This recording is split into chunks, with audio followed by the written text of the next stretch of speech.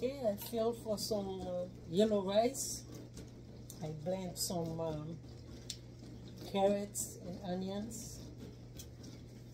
So all I need is the water. This.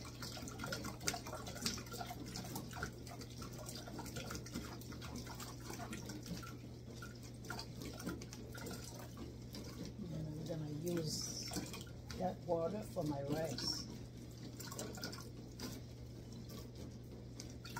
So I'll show you guys the finished product later. Thank you for watching my video. If you guys want me to make anything, just let me know. Just don't ask me to make filet mignon, expensive stuff that I cannot afford. okay, thank you for watching, guys. Ciao.